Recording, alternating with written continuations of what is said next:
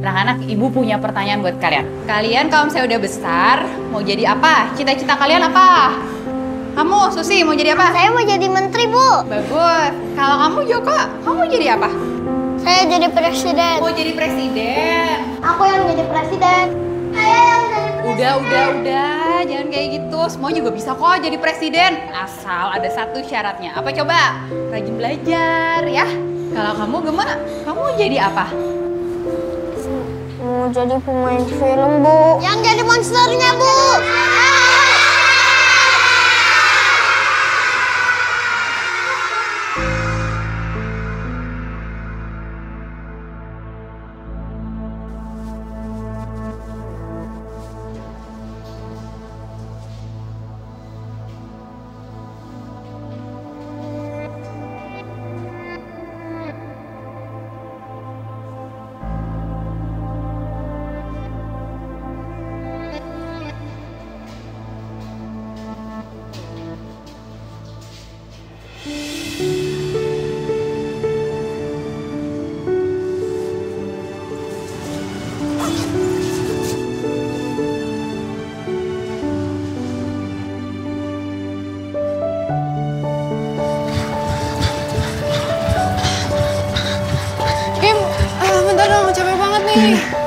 Berhenti dulu deh, capek banget.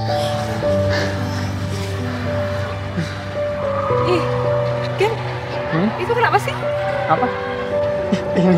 Enggak. Eh, Gi,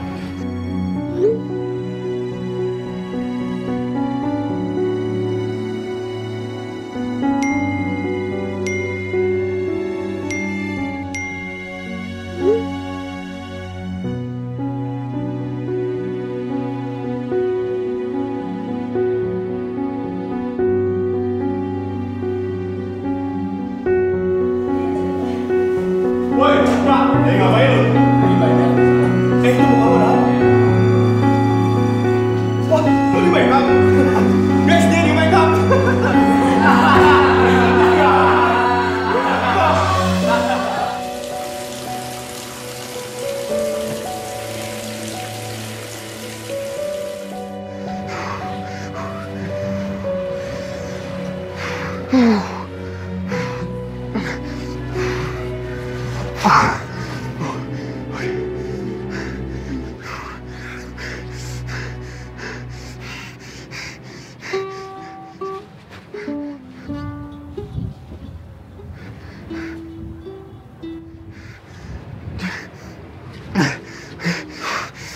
Mau ngapain?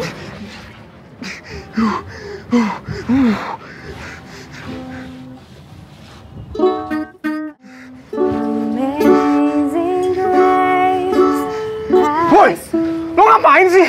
Nyanyi. Gue sosok-sosokan deh kalau emang gak bisa. Kan gue bilang. Gini nih. Amazing grace, how sweet the sound that saved the wretch like like me.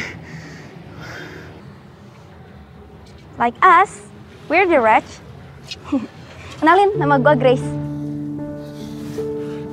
Tapi nggak amazing kok kayak judul lagu tadi. Itu yang gue rasain sih dulu. Waktu gue nggak suka sama hidup gue.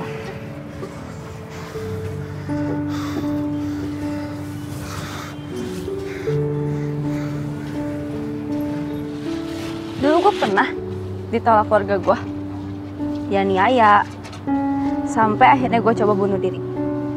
Semuanya ya gara-gara keadaan gue ini. Tapi gue nggak sedih sih. Soalnya gue tahu kalau lewat keadaan gue ini, kuasa Tuhan jadi nyata buat gue.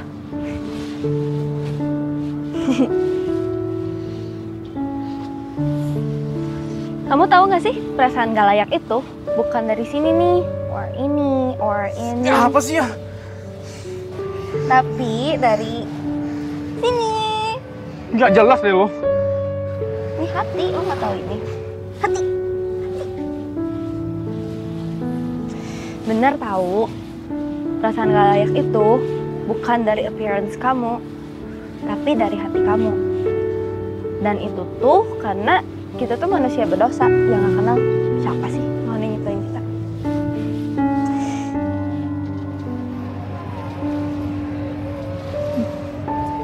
Kabar baiknya? Si Tanam Ih, lo ngapain sih? sini dulu. Kabar baiknya Tuhan kasih tanda cintanya buat kita. Kasih Tuhan itu sempurna loh. Dia tetap mencintai kita walaupun kita tuh manusia yang berdosa dan penuh kelemahan kamu tahu Tuhan Yesus itu siapa?